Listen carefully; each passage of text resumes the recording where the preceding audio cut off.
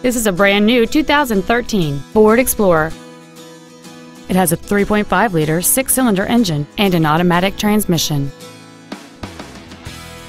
Its top features include a low tire pressure indicator, hill start assist, 100% commercial free Sirius satellite radio, aluminum wheels, and traction control and stability control systems.